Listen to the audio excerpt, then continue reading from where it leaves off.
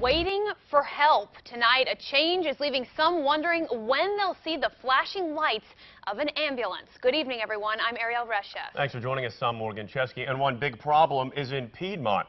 Recently, it took EMSA nearly an hour to arrive. New at 10, KOCO's Kim Passoff is live with the reason for that delay. Kim? Right now, EMSA is working under a new response policy. They will no longer respond with lights and sirens on unless an emergency is deemed to be life-threatening.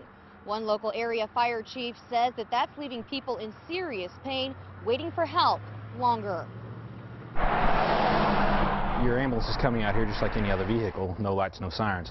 Piedmont Fire Chief uh, Andy Logan says the policy change is frustrating. In the past, priority one and priority two emergencies were both ran emergency status lights and sirens. Um, when this changed, priority two calls now were ran non-emergency. EMSA officials say the policy change was made for the safety of medics and the public.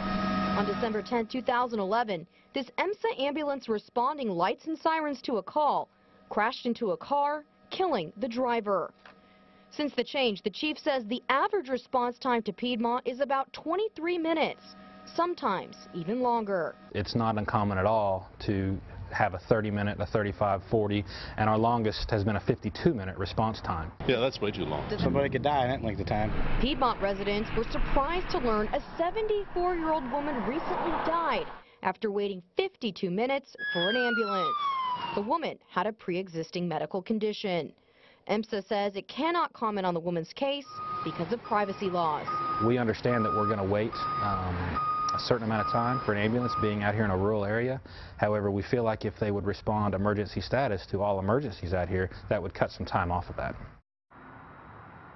And EMSA told us that they are meeting standards and keeping their service at the levels promised. And they say that they are open to discussion with cities to improve their level of service. Reporting live tonight, Kim Passoff, KOCO 5 News.